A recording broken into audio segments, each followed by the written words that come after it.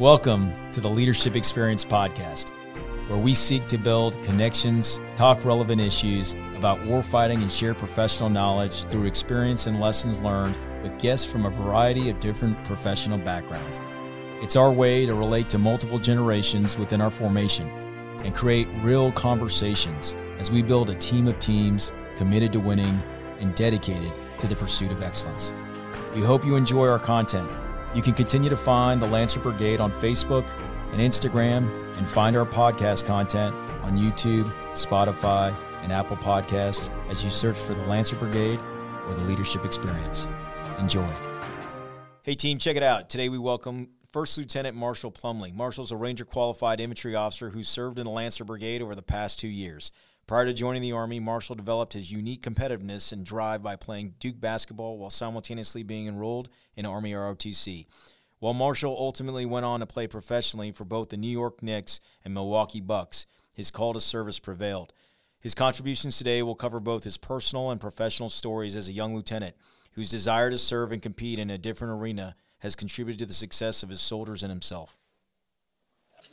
Okay, Thanks for uh, we are Marshall Plumlee sitting down with us today and having this conversation before you head off to 375. That's pretty impressive that you made it. But thanks for sitting down today. Thank you, sir. Thank you for having me. So you know, for uh, for those that don't uh, know, for for the water water audience, you know that's going to be watching and, and listening in. We're actually sitting down with your uh, one of your two company commanders, and we'll get a chance to to sit down and maybe harass a little bit, reminisce some of the good things, and hear a little bit about your story because it's pretty special. And I think those have not got a chance to to spend as much time that both me, me and Nick have. Is I think it's per, important to share that with you before you take off. Absolutely, sir. Something so, I'm happy to share. Absolutely. So for those that don't know, I'm going to start off and saying, hey, you know that I had a chance, you know, as we were going through and uh, I was sitting in NTC, and we had just ended up getting recocked for this big mission it was uh, on the objective of Razish. And I felt pretty bad because, you know, the entire time the, the brigade was having to come back and, and get recocked. and I felt like I'd, uh, I'd let the brigade down, that we were having to redo something. And I get this, this message that I've got to call General Brown. And so, for those that don't know, General Brown, the former USARPAC commander, four star General Brown, was my first battalion commander in the Army. And I was like, this is unbelievable. My first failed mission at NTC, and I'm getting a phone call to call my very first battalion commander in the Army, who's a four star.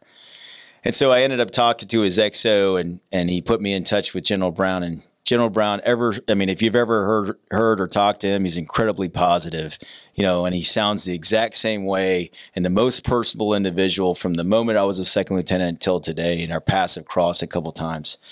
And of course, he's like, "Hey, John, how you doing?" He's like, "You know, it's great to hear from you. Incredibly proud you're taking command, and you know, I heard you do, you know, just kicking ass at NTC." I said, "Well, you, you know, sir," I said, I, I figured you were calling me because, you know, I just failed this mission and I got to get recocked." And he's like, "Oh, no, no, no. That place is designed to, you know, make you fail, and you're going to learn your lessons. You're doing great." He goes, "Hey, the the, the real reason I'm calling you is because." Uh, there's this uh, lieutenant. His name is Marshall Plumlee he goes, uh, "You got room for lieutenants there in uh, in two two? I said, uh, "Yeah, yeah, yes, sir." He goes, "Sean, this guy played at Duke. He plays for uh, Coach K, and you know my relationship with Coach K." I said, "Yes, sir, I do, absolutely." He goes, "They want him to go to 101st," and I told him, "Absolutely not. He needs to go to JBLM two two Stryker and work for you, John." And in my mind, I'm thinking like this is like surreal. As I'm sitting up here, you know, I just had this engagement with the OCs, and they're telling me we got to recock. I get this call from my first battalion commander in the army, and he's taking the time to sit there and he's paying me this compliment where he wants this lieutenant who's just coming into the army to come serve, you know, on the team here at JBLM. But you know, the unique thing about having a leader like General Brown, which is a reason why he's a four star, is at the end of that conversation, which was probably no more than about five minutes, was he not only was, you know, invested in you to get you out here to JBLM, at the same time, he had remembered, you know, the things and followed my path from the time that I was lieutenant and the things that he had done for me personally when I was lieutenant up to the time that now, you know, serving as a colonel. And just in that small little conversation, you walked away, and I was like, okay, all right, let's go. Let's go do this mission again. I'm ready to go. hey, and I'm getting a lieutenant, and I guess he's like seven feet tall, which is going to be like awesome, you know. So when you're only like five six, you can literally go home and tell people like you walk amongst giants, and I've been able to say that in every uh, you know unit I've served in. You know, we were talking with Villanueva previously, and he is not a small man, and neither are you, Marshall. you know, and I think the first time that I did see you, we were at the State of the Brigade. You remember that? Yes, sir. Yeah, so I was walking around, and you know, State of the Brigade, and brigade commander stands up there and has this conversation, lays out, "Hey, here's the things we're doing well. Here's the things I need you guys to help with. Here's my philosophy." And as I'm like scanning through the crowd, I'm like seeing this like very large human, and I looked at his rank and his lieutenant, and I thought this dude was standing up, and I was about to get on you to tell you to sit down, until I realized that you were taller than me while you're sitting down. so I don't know if you remember that uh, that day or not, but you know that was just the beginning. You were well known coming in but it wasn't you know the notoriety of playing at Duke. It was what you did when you got here, and uh, you know I'll turn it over to Nick because when you know when Nick knew that he was taking Charlie Company, he's got his own story about taking command in his own unique circumstances. But you know Nick, when you found out Marshall was going to be your uh, your platoon what were you thinking? So the first thing, sir, Colonel Witherell calls me. He's like, "Hey, you a basketball fan?" No, sir, I'm not. I'm a huge Michigan State basketball fan because I, I, I thought I knew where this was heading. It's like you're getting a, uh, an old Duke basketball player. Rewinding the tape, 2015, I remember seeing Marshall Plumlee destroy Michigan State in the Final Four, and I was like, "Sir, I don't know if I want him." In the back of my head. Start. yeah, the back of my head. And so we talked through it and everything, and uh, I'm like, "All right, cool, new lieutenant." My first sergeant is a pretty rough dude. He's like, "Hey, sir, uh, first counseling." Should put a really small chair in the office. when he sits down, and I was like, I can't do that. Like, I'm not going to talk about basketball though. We're going to have a, a, good army discussion, just to see where he is, you know, where his mind's at. He comes in. I have my Michigan State mug on my uh, on my desk. I'm not talking about basketball. I didn't mention the height, you know, even though he has a duck as he's walking through the, the office door. And we start talking, and he goes, "You know, I played them in the Final Four. I go, "I know who you are, Marshall." I go, I know who you are. So he leaves. First sergeant comes in and goes, Sir, uh, how did the first counseling go? I go, I should have done the small chair. Is that true, Marshall? Yes, sir. Yeah, it, it was true. Uh, and I just uh, I had to let him know where I stood and remind him where Michigan State stood. Uh, but no, I think uh, I remember that right. That you made it pretty obvious right from the beginning that you didn't care about the basketball, you didn't care about the background. You came about what I was. You cared about what I was there to do, uh, and you made that obvious with how you spoke to me and your actions. And uh, I think that really helped my development, sir. But basketball is a big part of your family and your life. Yes, sir. You know, so for the for the team that's listening, how important it is is basketball in your in your family and you growing up. It's huge, sir. Uh, my mom played, my dad played, my brothers played uh, and playing in the NBA is something I always aspired to do. Uh, and it's given me this awesome set of life experiences that I've been able to in turn now share with my soldiers. Uh, and they probably get sick of all of the basketball analogies I use. You know, uh, today I was uh, talking about roles with soldiers. I had to tell them about how I never had the green light to shoot threes, and uh, I was trying to get a soldier to stop doing something. I'm trying to remember what, but no, lots of analogies, a lot of life lessons learned. And uh, most importantly, sir, I feel like I've really come to understand what a good teammate looks like. Yeah. And I think that's applicable in the Army, basketball, yeah. and uh, I'm really grateful for that world experience. That's incredible. So, like, for those that know, right, all all of you and your brothers both play in the NBA, or all play in the NBA, correct? Yes, sir. The two older, the two ugly brothers, uh, some call them. They uh, they played. They're little uh, better hoopers uh, yeah. than I was, but I'm the best shooting Plumlee, which uh, that doesn't mean anything because I think we're free throw percentage around 40%, 50%, 60%. But uh, college career, I'm, I'm one for one. Uh, I'm 100%. So uh, I think it's time for a heat check. I probably need to shoot a few more. That's good. That's good. Well, that's great too, right? So you're saying mom and dad both played in college? Yes, sir. They did. Uh, my mom um, she's the nicest lady. When you meet her, I actually gave her a tour of the uh, of the company yesterday. She's come helping me get my affairs in order, sir. Transitioning to three seven five. uh, but you wouldn't know it. Uh, she has a mean streak to her. She has the foul out record at Purdue, sir. Uh, so I'd like to think I, I've inherited a little bit of that too. So Yeah. I, I always prided myself on the ability to have fun with the guys, but when it's time to compete, to be able to turn that on, sir. Yeah, so no doubt, you know, growing up and being in an athletic or as an athlete, they, I guarantee you they probably taught you about being in teamwork. You learned about competition. What do they teach you about loss? about loss. So on the best teams uh, I've been a part of, sir, Yeah. uh, losses have been miserable, Yeah. uh, and we do a good job of making sure the uh, the atmosphere and the mood around the locker room. Yeah. Uh, there, there aren't a lot of there isn't a lot of joking going on. We, Yeah. we all we're thinking about is that next win. Uh, and when you end the season not winning the national championship, when you're coming off a loss, you've got a whole off season to kind of stew on that. Mhm. It's great motivation, great fuel. And I feel like the greatest leaders in my life, Coach K in particular, has never missed an opportunity to take advantage of, of a loss, to use it as motivation and, uh, you know, really fuel us to reach that next mountaintop, sir. Yeah. So, you know, whether you realize it or not, that's like the beginning of, you know, this, y- you know, their leadership imparting on you about this thing about grit, and resiliency, you know, and athletics and sports and all these kind of things and competition help kind of teach those things. So it's interesting, you know, you, your three brothers, you're the youngest. At what point did they recognize that you weren't the little brother anymore? Um, I think uh, when I was about a freshman in college, I started to be taller than them. Uh, but really, they still treated me like a little brother. When it was time for a dunk contest, they, Yeah. they'd bring me out and they'd jump over me for the, Yeah. you know their finale dunk, and I I kept getting little brothered.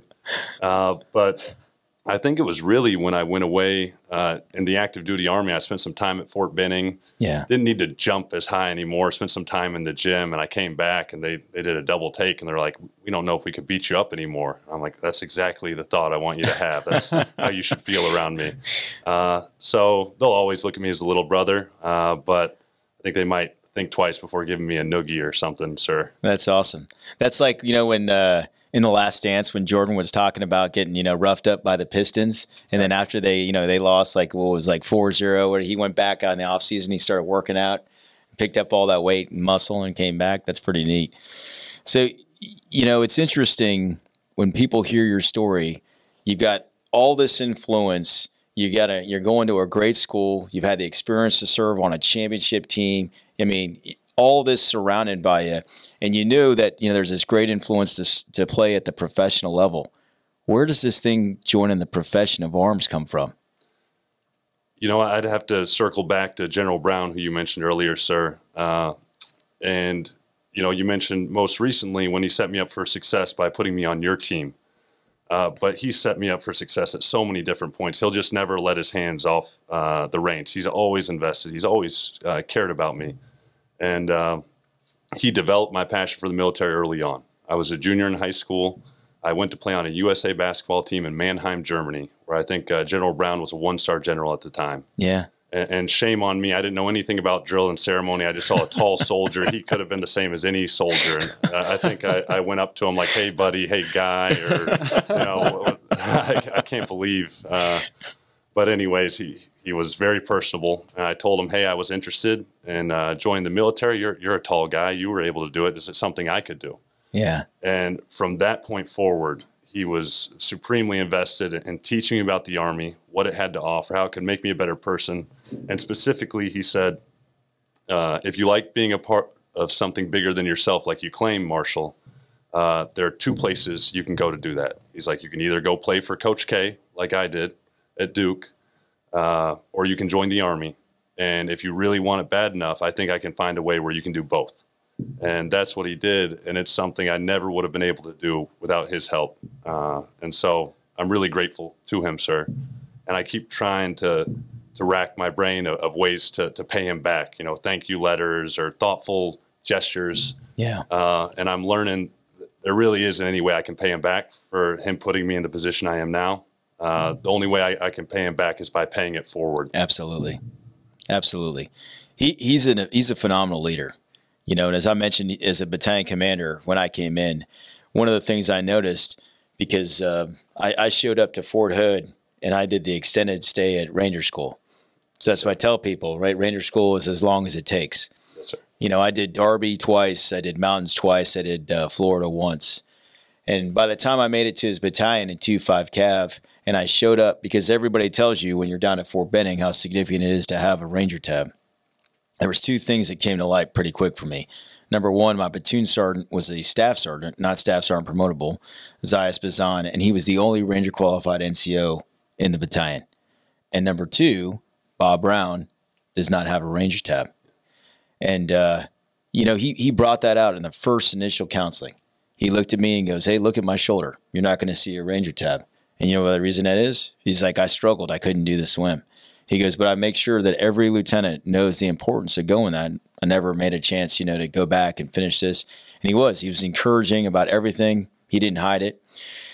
And then the you know the second portion about it was is you know as a lieutenant I was going through a divorce, and uh, you know you talk about leaders that are incredibly vulnerable that take a time to sit down with you, you know, talk through. And I told him I said, hey sir, he said, hey, what do you want to do? He's like, you want to be the scout platoon leader? You want to be a support platoon leader? You want to go to Ranger battalion? And I said, sir, I, I'm thinking about getting out of the army. And he was like, what are you talking about? And I said, I think I need to get out of the army to save my marriage. And at that point right there is where he stopped. And, you know, his family is just as great as he is, you know, and he comes back and he's like, Hey, we'll sit down. He's like, we'll, we'll, we'll kind of lay all these things out. You know, if we need to sit down, you know, with your wife at the time and do all these things, he goes, we'll explain. He goes, because I know he knew my family as well and my dad. And he goes, I know that, you know, you love this thing called the army. And I'll never forget the advice that he gave to me. And he says, Hey, he goes, I, I just don't want you to make a decision where you're trying to, you know, run away or, you know, uh, you know, make a decision to try to prevent something because all it's going to lead to later on is resentment and regret.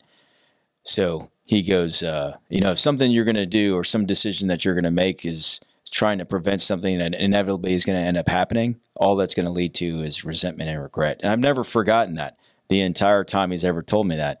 You know, and, and as I've shared with the entire, you know, team before, I ended up getting divorced and he was right there, you know, hey, pick me up, put me in a, you know, key position, put me with the right leadership. And it was an incredible team that he had there.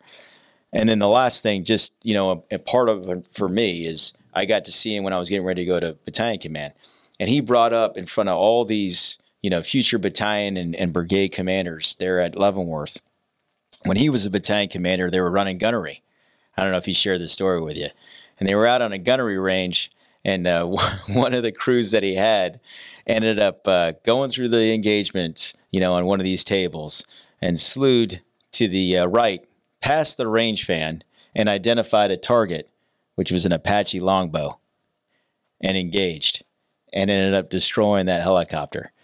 And when he told me, he said, Hey, as I was going through that entire process, right? Other peers were telling me, Hey, you're not going to survive and all this. But he had learned so much from that experience and he was willing to share and be open and vulnerable about it. He was really one of the first leaders that I had ever known since the time that I was a young lieutenant to the time that even while I was as a battalion commander. Now he's a three star general, you know, sharing the story about, hey, you know, this is something I went through as battalion command and I was able to weather through this. And then the last thing that I remember him talking about is when he was here at JBLM, he talked about this experience where he had partnered with the Seattle Seahawks with Pete Carroll. And they did this thing called a Great Teams, you know, event where they got together, you know, they shared, they talked about, you know, what their core values were, and they did this partnership. And you know, and the Hawks ended up having a great season. It was something they wish they continued. So, you know, uh, it's it's great to hear that you know we didn't even know each other, and I get a phone call, and the experience that you're talking about with with uh, Bob Brown resonates with a lot of people, and I guarantee you, if we had people that also had served with him or shared some other stories, you're going to say that dad's an unbelievable leader. Yes, sir. And, and, when you talk about being able to be vulnerable uh, with your soldiers or with your peers, immediately what comes to mind to me, I say that's a secure leader. That, that's a leader who's secure in who he is and what he brings to the table. Doesn't feel the need to uh, sugarcoat or cover things up. Uh, and what comes to mind when you also talk about uh, General Brown, sir, and how you guys were vulnerable with each other was the state of brigade that you mentioned earlier in the podcast. And yeah. Uh, Captain Ando uh, sat us down uh, myself and my peers after your state of the brigade and said, "Hey, what were your takeaways?" And uh, me and my neighbor PLs, we kind of looked at each other and said, "We've never had a commander be so forthright and so upfront about uh, things in their life and uh, you know things they've been storms they've been able to weather." And it just made us feel more in tune with our leader uh, and like we could trust him more. Uh, and it motivated me to want to open up to my soldiers, sir. I don't know if you remember that. I do. Yeah.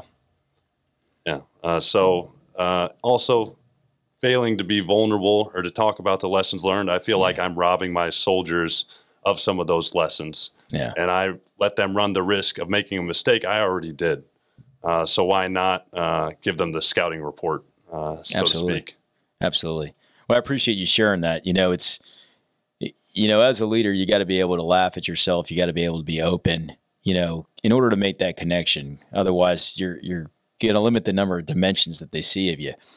And so, even just like in the experience that we had, and I'd seen some work that you'd done, and you know, the, it's awesome where you know you had the, uh, you know, that little exercise with all your, shol- your soldiers and who could build the highest tower out of you know the, you know the the dough and the and the spaghetti or whatever it was. I thought that was pretty neat. That's a huge team building. It's creativity. What, how do you come up with that? Uh, you know, I think uh, Captain Ando and I we try to pass books back and forth a lot. Uh, he, he's a big reader, bigger reader. I should read more, but uh, You're uh, doing all so- right, Marshall. yeah, some some of these. Uh, I think it was a Malcolm Gladwell book, probably. Uh, I think it was, Dan, it was it was Dan Coyle actually, the marshmallow tester. Yeah. Okay, but it was a way to assess IQ and your ability to work in teams, and it's to, Yeah. to build these marshmallow towers out of spaghetti sticks and marshmallows. Yeah. and we're in the dispersed training plan at this point. We've just been uh, hit with probably the most severe uh, restrictions in the COVID nineteen kind of uh, isolation, sir. So we were trying to think of creative ways to stimulate soldiers' minds and get them involved. And uh, Captain Ando had tasked me with coming up with a uh, a single soldiers event, a kind of a boss event that they could do from their barracks, Yeah. which is a kind of a challenge. That was a, a, a brain twister trying to think of something fun they could do that was budget friendly. Um, and uh, I think Captain Ando's like me, and that uh, we really appreciate the little things. Yeah. So at- at first glance, marshmallows, spaghetti sticks, what, what's the most that could come of this? Uh, but we, we saw it as an opportunity to do something bigger. Uh, and we took it and we, you know, we're Centurion Company. It turned into the Centurion Creativity Bowl. The soldiers really cool. bought in. Uh, then all of a sudden, the battalion caught wind of it. Yeah. And then the other companies are wanting to get involved. And then all of a sudden, the video from the Centurion Creativity Bowl made its way up to brigade. Yeah. And then I, I- I believe you saw it, sir. I did. And it opened up an opportunity for our company to do a Stryker demonstration, you know, Yeah. video extravaganza and represent the brigade. Yeah. And all of this came from some marshmallows and some spaghetti sticks. And it, it, it sounds silly, but uh, I it just another one of those times where I'm like, man, the little things they can turn into big things quick. That's a great point, right? So for any leader that's coming in, I, there's really like kind of two things. So, so one, I'm hearing as you're describing, hey, I, I don't really, I didn't read as much as my boss. So you put something in my hands, right? And a lot of times, and I was the same way as the lieutenant. I didn't want to read it unless somebody was assigning it to me, you know. but there's there's gotta if you're a, a truly a lifelong student, you know, of this profession, you've got to read, and you've got to be open to read other things and and open to read other things that you may not necessarily have an interest in. It helps you know expand your mind and and being a better critical thinker. But it is interesting. And what would you offer to to leaders that are in the brigade or leaders that are coming into the brigade when guys that see you and they're like, I'm not an athlete, let alone play basketball or like basketball. How do you make a connection with soldiers that may not have anything in common? For me, I've had the most success uh, making connections with my soldiers I might not have in common, uh, things in common with, by putting us in an environment uh, where uh, backgrounds don't really matter and, and there's a, a common goal and we've got to share in the work and get it done. Yeah. Most recently, you know, I uh, I got the the chance to uh, to work out with these uh, these sandbags. They call them the worm Yeah. and they're Yep. about 10 feet long. They Yep. weigh about 450 pounds. And it builds teamwork the way it would build teamwork if you and I were tasked with moving a couch up five flights of stairs. That's like right. we're, we're going to become very familiar really quick.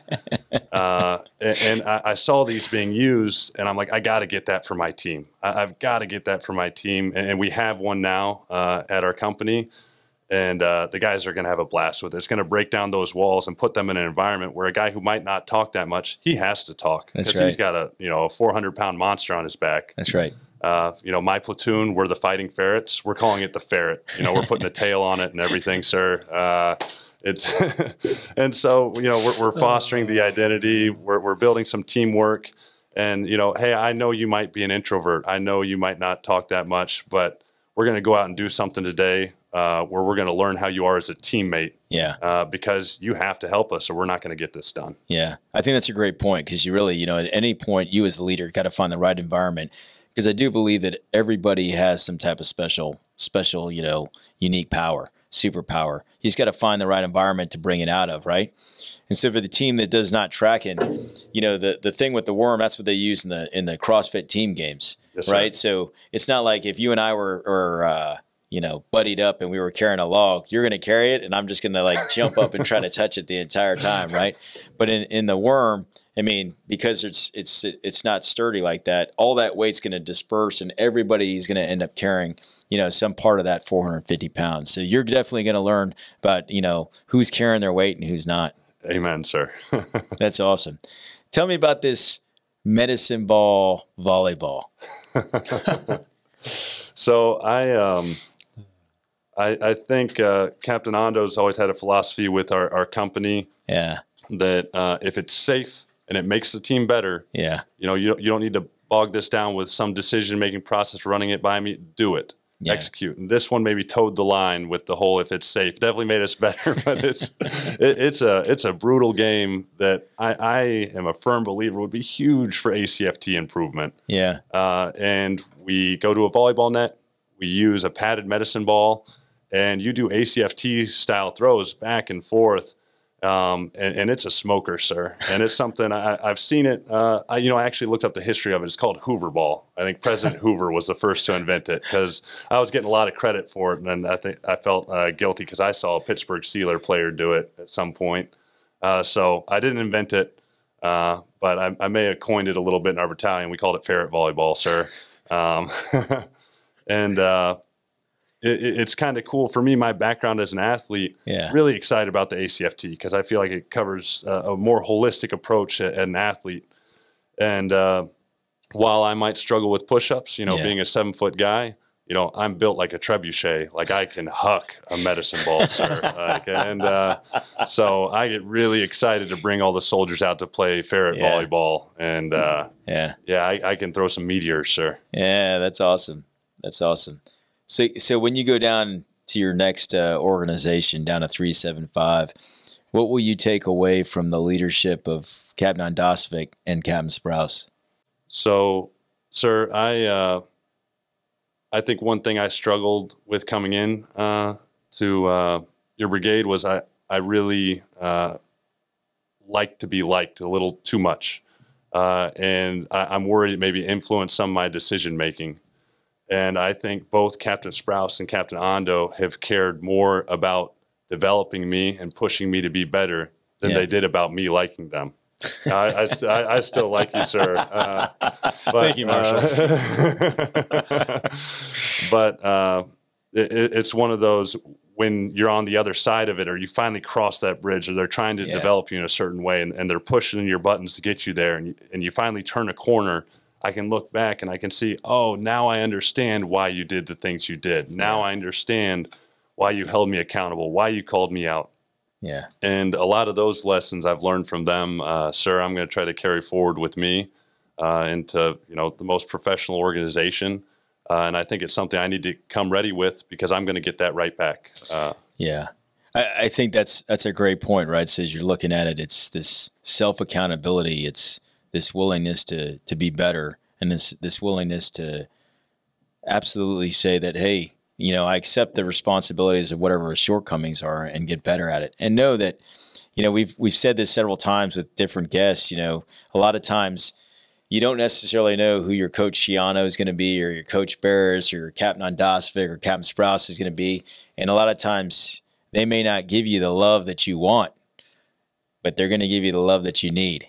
You know, Yes, and it doesn't matter if we're talking company commander to platoon leader relationship, or if we're talking, you know, a team leader to a, a soldier relationship. I mean, there's there's command sergeants majors, active and retired. If you sit down and you talk about what they've learned, like life lessons, not just how to survive and, and, and be successful in this professional, you know, or in this profession, they're talking about how they grew them and raise them into the, you know, a good portion of the of the manhood or in the adulthood that they are today.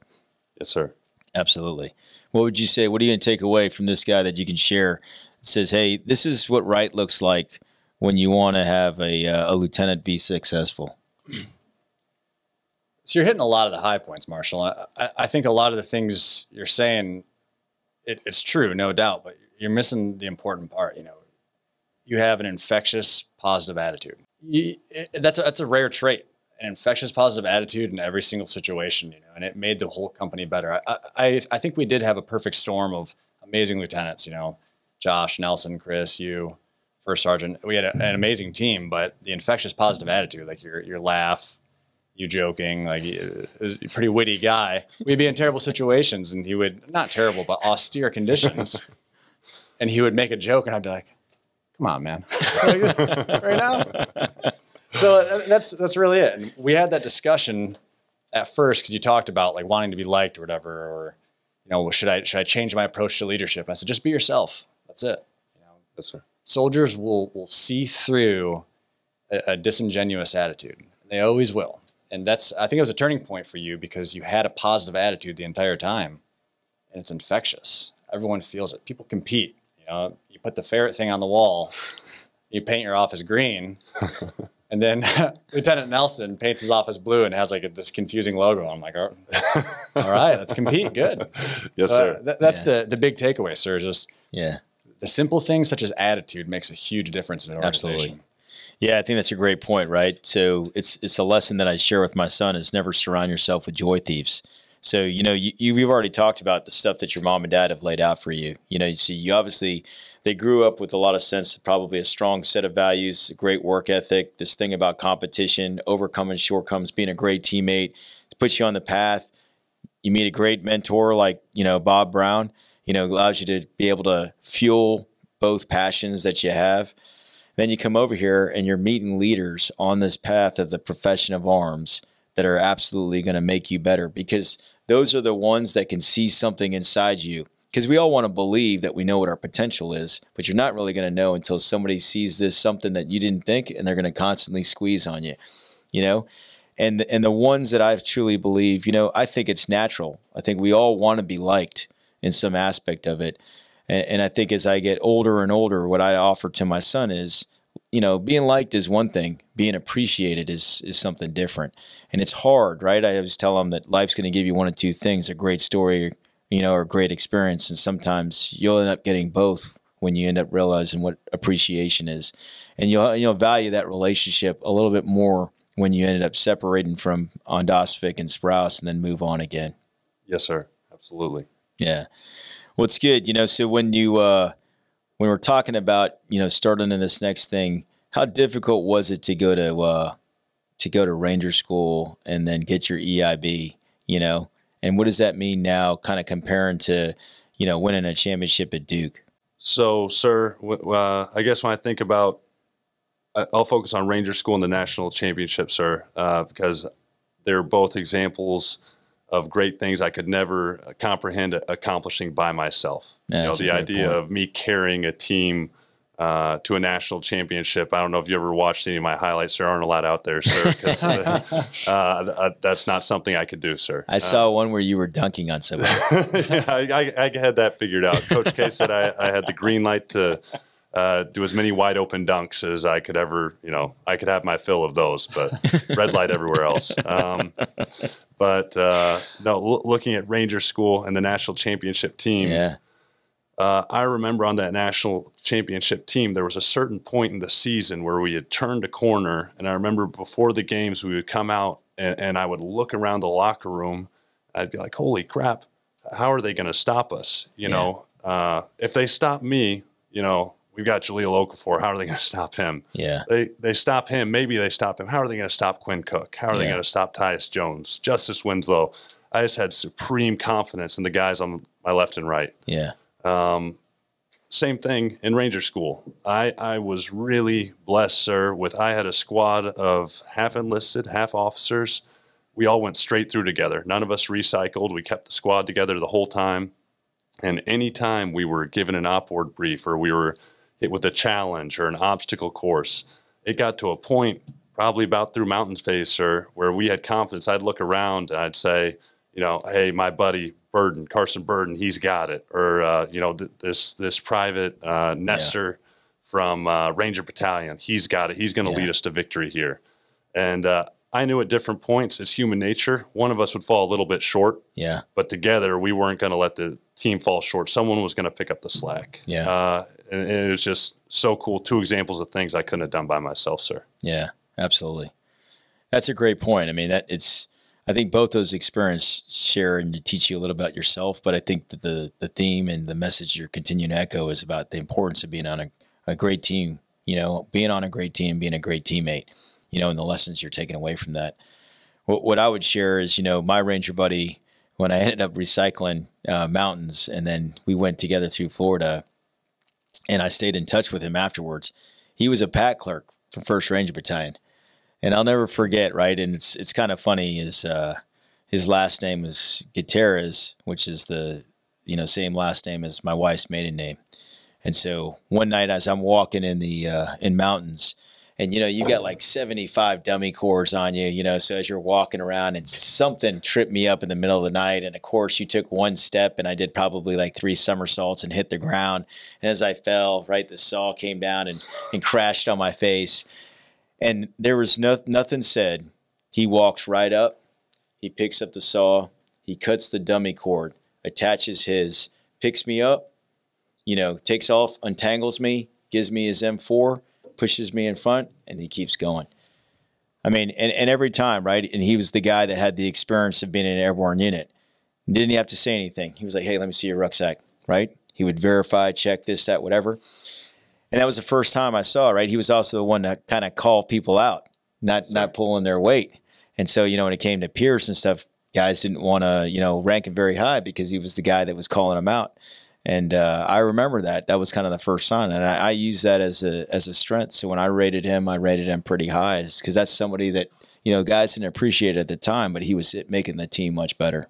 Yes, sir. I think that's powerful to have a teammate where there's that trust there. There doesn't need to be a word spoken. You know he has your back. Absolutely. and the analogy I'd put in basketball, you know, there there's some uh, scary moments for me where I'm guarding, you know, a quicker player out on the three point line, a place Yeah. I shouldn't be. That's not my comfort zone, and I don't I, I don't have eyes in the back of my head. I don't know if anyone has my help. Yeah, Uh, but on the best teams I've been on, yeah, I don't even need to hear anything. I don't I don't need to uh, see anything. I know yeah, that I've got a teammate behind me ready to help me Yeah. if that uh, you know if that basketball player blows by me. yeah, He's there ready to come over, help side, block the shot. He's there ready to to pick the saw up and lift me off the ground and brush me off. absolutely, Doesn't need to say anything. absolutely. Uh, and I'm trying to think of more ways I can uh, develop that trust with my soldiers so they know I'm going to be there uh, Yeah. without a moment's notice or without a word.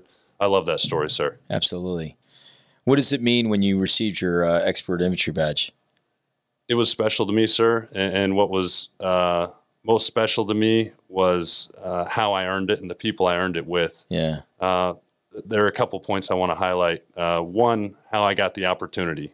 Uh, and I don't understand the, full picture, but from my perspective, there were a limited amount of spots with another team, more specifically uh, 275 out, out here at JBLM. yeah, And uh, a lot of names were being thrown around with who should go. And, and my company commander, uh, Captain Ondo, this is one of the, the many times uh, he really fought to get me in there. yeah, And that was a cool thing to have a leader fight for me yeah, uh, and, and something I want to carry forward with me. I want to make sure I'm fighting for my soldiers to get them opportunities. absolutely. So Captain Ando fought to get me in there. then I'm in there and, and I'm surrounded by uh, Rangers, and it's uh, especially so early in my Army career Yeah. the coolest thing. Uh, and I uh, I had an uh, appreciation for their work ethic and uh, how willing they were to help me Yeah. uh, because I, I wasn't just sliding in under the radar. I'm, I'm this new seven foot guy around the footprint.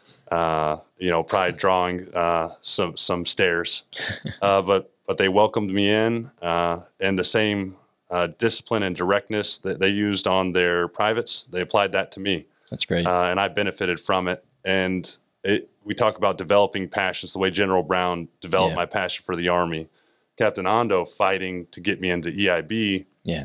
he developed my passion for wanting to be a part of the Ranger Regiment. Yeah. Uh, so that was another cool part that was uh, about that, uh, sir. And then at the end, uh, just having Captain Ando and my platoon sergeant, which was really special. At the end of that 12 mile ruck, uh, to pin on, you know, the True Blue EIB badge, Yeah. it was a really special moment. So th- those three things, sir, are what made uh, my Yeah. EIB really special for me.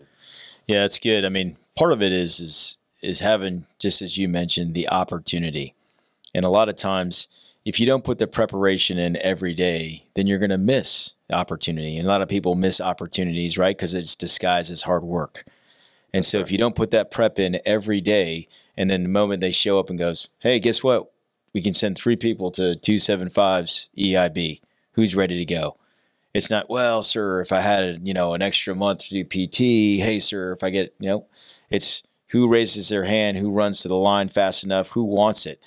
And so, you know, a, a leader once told me combat was measured in opportunities. I've also expanded that says I think family, you know, and the opportunity to spend time with family is measured in opportunities as well. But if you don't put in the prep every day, you're going to miss it. And so uh, it's great to hear that, you know, when you have that experience, and now this is one more thing you're going to take on that you realize, right? Because with your soldiers, you're not raising those soldiers and you're not raising your leaders to be you. You should be raising them to be better than you, right? sir. By giving them opportunities or afforded opportunities that you may not had. So I'm glad that you had that that positive experience because I know when you wherever you go, you're going to do the same thing, just like General Brown has instilled in you from early on. Yes, sir. Absolutely. So what does it mean going going from here, or what would you say? Let's before we go into where you're going to go next. What would you share from any lieutenant that's planning on coming into the Lancer Brigade? Uh, offer with them. Hey, what can they expect coming here? You know, how do how do you need to prepare yourself? What should you understand? You know, what is this organization's about? Uh, yes, sir. I, I would uh, tell them from day one to be prepared to be challenged. Uh, and uh, it came at me in a lot of different ways. It came at me from my company commander, giving me challenging uh, taskings and uh, new, uh, you know, new objectives to hit with my platoon, new goals to set. Uh, it came from my battalion, you know, with different, you know, different projects. And then a cool one for me, sir, that we've talked a little bit about was the brigade squad competition. Yeah. You know, uh, we compete once a month, all the squads in the brigade, uh, you know, to, to test our ability to, uh, you know, be experts of our craft and to Yeah. improve on that, build on that. Uh, so just since day one, since I've been here, I feel like I'm always competing, competing Yeah, uh, and it's it's a great thing. Uh, it's a, a thing where you need to really take care of yourself and take care of your mind and body and find a balance uh, because you don't want to come into a fight or come into competing something you're not ready for. Uh, so I've had to really take care of myself. Um, and then my big takeaway, sir, that I would want to pass along to other lieutenants is. And I just gave this advice. I I'm ripping out with another PL, and I gave him the same advice. Is that's to to live your best life, to set really high goals for yourself, uh, do awesome things, and then just bring a soldier with you. yeah, Uh, it ha- has never taken away from any experience of mine to have a soldier, another leader there with me. It's only enriched it. absolutely. Uh, so I'm getting ready to go hike Mount Rainier one weekend. I'm going to do it no matter what. Something I, I want to do. Why not bring a soldier with me? Yeah. Uh, Yeah. And in a lot of instances, it ended up working out that hey, Plumlee, you you spent the last couple weekends working, and uh, you you've been with your soldiers. That wasn't work at all. That was something awesome that I wanted to do. It didn't feel like work. Uh, and I'm developing more touch points with my soldiers Uh, they're more willing to go the extra mile for me, and we're getting to do awesome stuff I would have done anyways. Yeah. I want to watch a movie tonight. Instead of that, why don't we go throw a movie night at the Cough? Why don't we all watch a movie? Um, little things like that. I, I would encourage lieutenants, uh, but it involves me leading a healthy lifestyle and me having goals. You know, I'm going in the gym to work out a second time in the day. Yeah. Let me take a soldier with me who's maybe struggling with his PT. He's going to work out with me. Yeah. Uh, and then what's really cool is when we turn the corner, and sometimes soldiers are asking me to come do things with them. Yeah. Uh, and that, that's what I'd pass along to new lieutenants, uh, sir. I, I think that's incredibly sound advice, and it, it demonstrates a, a lot of increased self awareness. You know, the the thing that I think that a lot of officers don't realize, and they have a little bit of regret, is the time that you get a chance to truly spend with soldiers is limited. And every day that you show up to work is one less day you get an opportunity to spend, you know, with the treasure. You know, and and if you don't realize it when you're with soldiers, you you feel different. You have more energy to do things because when you end up, you know, no longer, you know, being around soldiers because you're you're stuck in a cubicle or you're doing something else, you're gonna miss it. You're gonna miss those opportunities to play medicine volleyball or ferret ball or whatever you're calling it, right? you know, making marshmallow, you know, spaghetti towers and those kind of things. I mean, those are the special moments and you know, when you get to be an old guy like myself, which which is really neat, is a lot of times, you know, uh, you know, a great mentor is offered to Nick and I a lot of times that you got to make sure that you, uh, you know, that you tell your soldiers and you make them believe they're on a winning team.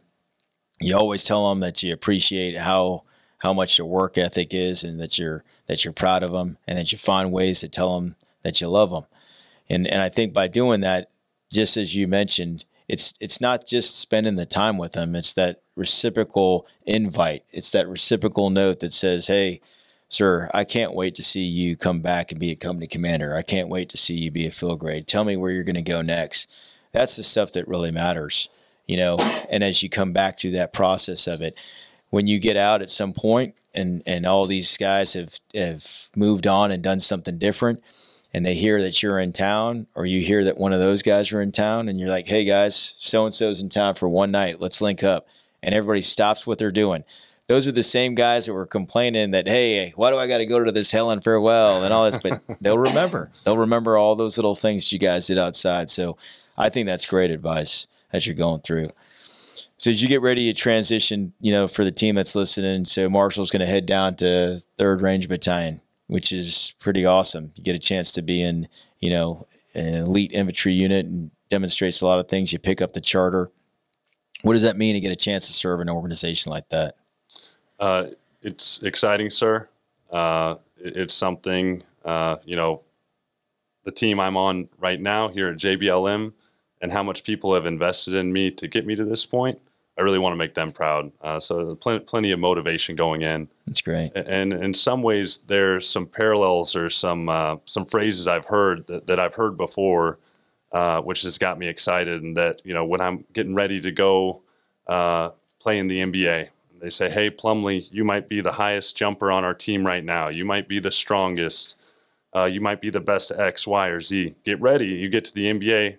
Everybody's like that." That's right. So then, what are you going to bring to the table? What's special right. about uh, Marshall Plumlee?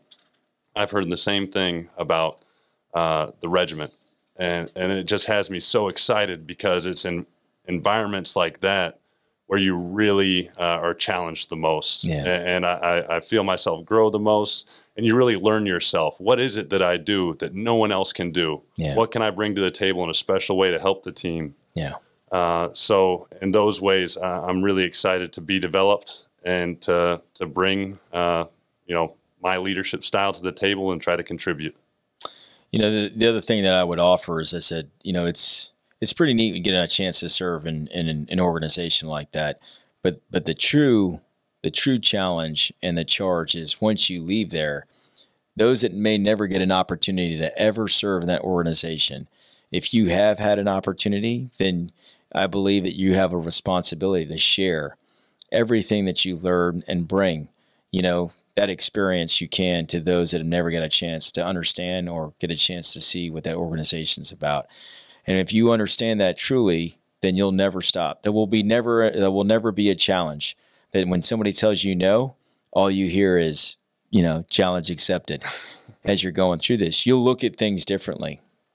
And I believe that if you can take that everywhere else that you go, that's how you make teams better.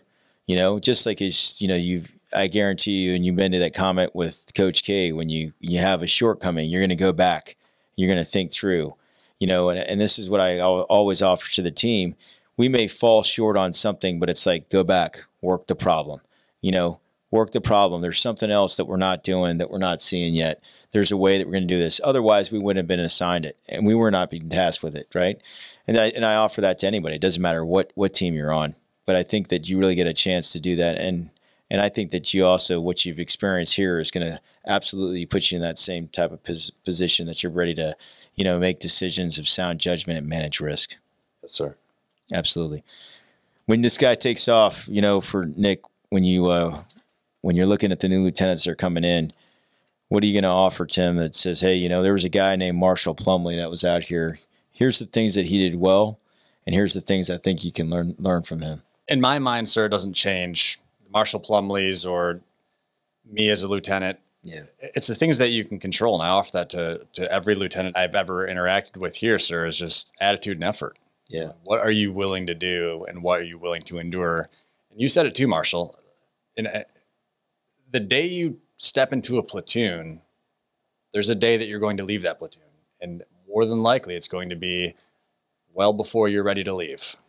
So just cherish every moment. You know, that right. you spend time in the office, you, you want to get everything right on a con op, go have a meaningful conversation. Yeah. And I tell my guys that all the time. And, yeah. and I need to remind myself. And I have people like Marshall that are doing things like the Marshmallow Challenge that remind me like these little experiences are the things that I'm going to miss the most. Yeah. And it's just little moments like that. Soldiers are so interesting. They're so cool. They're so much fun to be around. Go do it. And give maximal effort in everything you do, have a great attitude. There's there's no secret, and you've done it. Nelson's done it. Like all those guys in Seco have done that, and it's it's super humbling to see it, to be the leader, to see it come to what it has become is, is a really humbling thing. Yes, sir. Paul, did you hear that? Always, sir. Maximum effort. Maximum effort. Let's get on LinkedIn.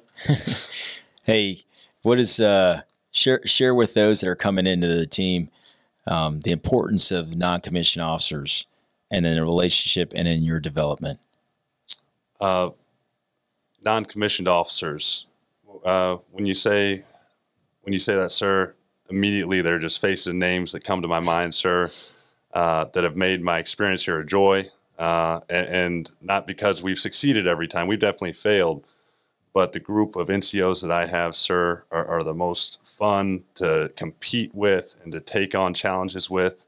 Uh, specifically, I want to talk about Staff Sergeant Nicholas, sir, uh, yeah. who's my weapons squad leader. Yeah. And uh, he is now two times won the brigade squad competition. So it, and that's that's no small feat. You know, sir, it's yeah. it's designed. It's a smoker, and it's all the you know squad leaders in the brigade, and he's won it twice. Placed yeah. third once and then the time he placed third, we wanted to dispute the scores. We think he should have gotten first again. um, and I, uh, he's developed me with, with his words, but yeah. much more importantly with uh, with his example. Yeah. Um, he has an ego about what he does well.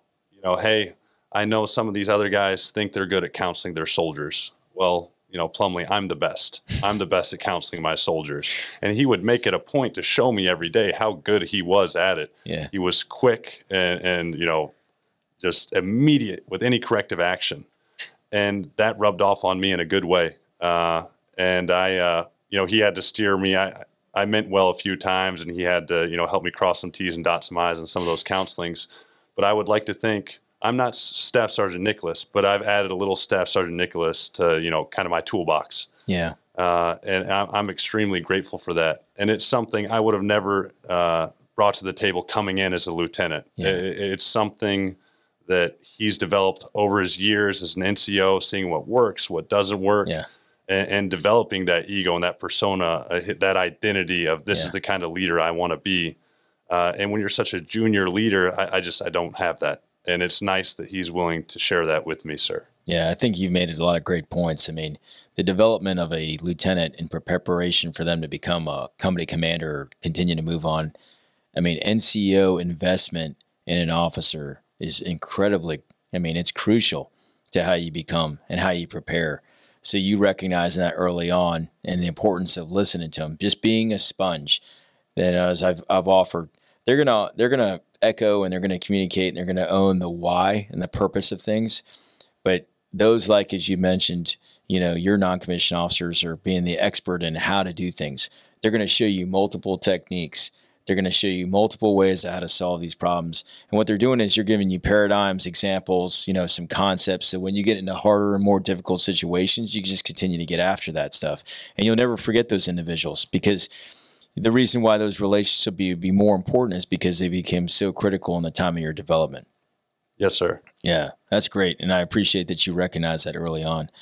So, I, I think that this, uh, you know, we've gone through this, and everybody's got a chance to meet you, you know, and listen to your story, and, and you've shared a lot of great stuff.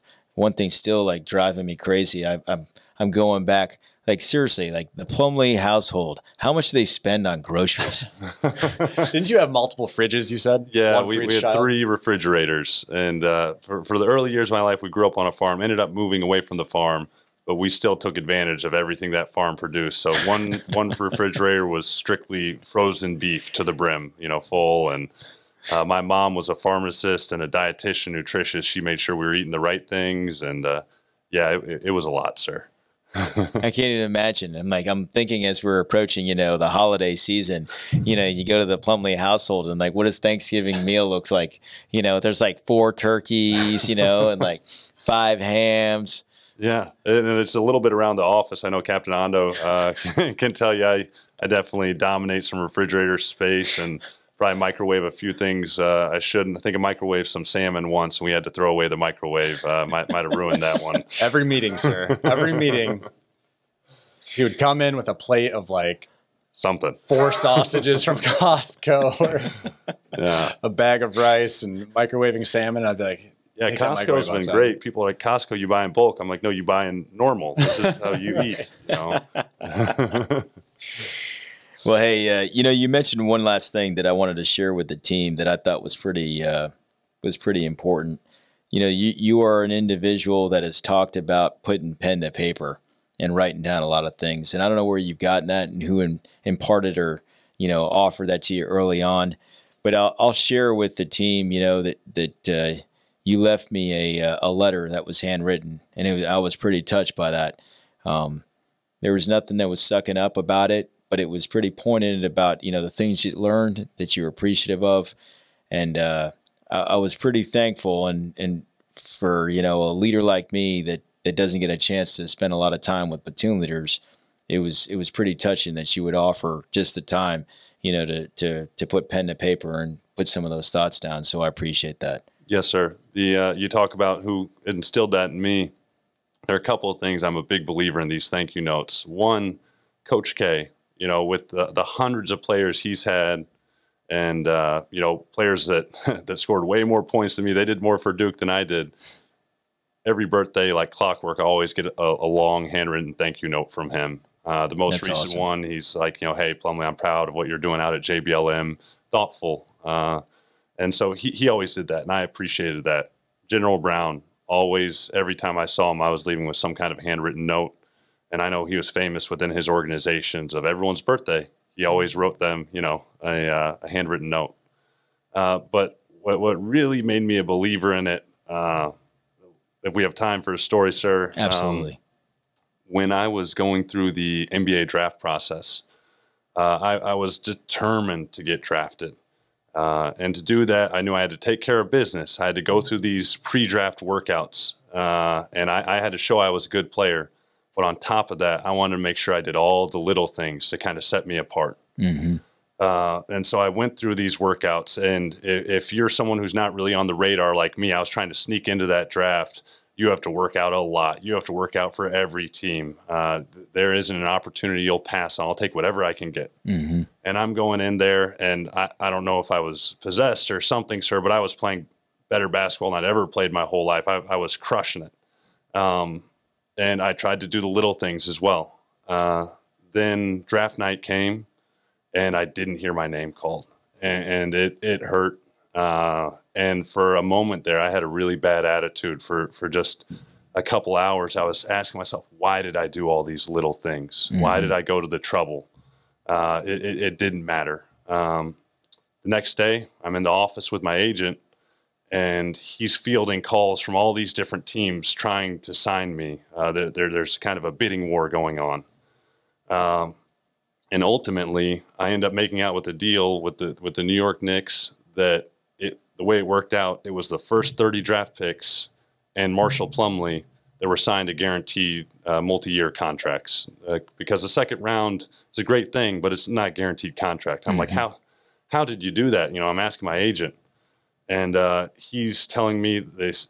You know, all these teams they got your handwritten thank you notes, uh, Plumlee, for each team you worked out for Oh wow. and they said they you know they'd never gotten anything like that before. Uh, I was at um, you know the Knicks practice facility, and uh, you know after the workout, I was in the cafeteria. I was in a good mood. I cleaned up the tables, pushed in the chairs before I left. I didn't know they, they'd caught me on camera doing that. Uh, and that's something else they saw.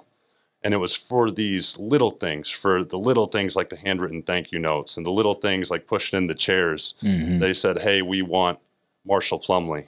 Uh, so that that made me a believer in those handwritten thank you notes uh, because it, you know, with, without some of those little things, I wouldn't have been afforded the opportunities I've been afforded, sir.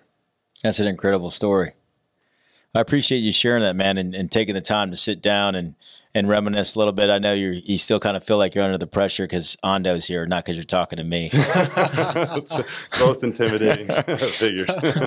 you know, and so everybody that's listening, we always leave with, you know, what are your questions? But this one and, and, and only time I'm going to allow uh, Lieutenant Lieutenant Plumlee the final words with you.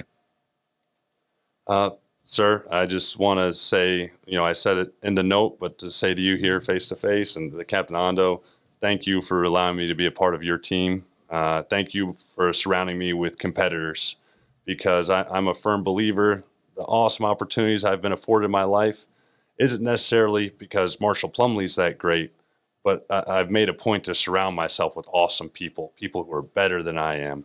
Uh, and because of that, you know, I've reached levels I didn't know I could reach.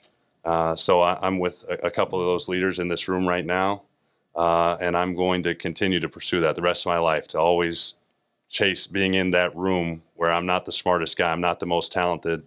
I'm challenged every day to step my game up, sir. Thanks, man. Thank you, sir. Appreciate it. It's good. Good. Thank you for listening to the Leadership Experience. If you like what you heard, follow us on Twitter, Instagram, and don't forget to subscribe to keep up to date with the newest podcasts. The Leadership Experience will showcase professionals within five different subseries. Number one, masters of our craft, the essence of warfighting. Number two, students of our profession, as we understand organizational culture and concepts of leadership. Number three, professional athletes with guns, as we talk hardships and maintaining a competitive advantage. Number four, grit and resiliency, the ability to overcome and perform under pressure. And number five, safe and secure environment, as we talk soldier well being and building trust within our organization and the profession as whole.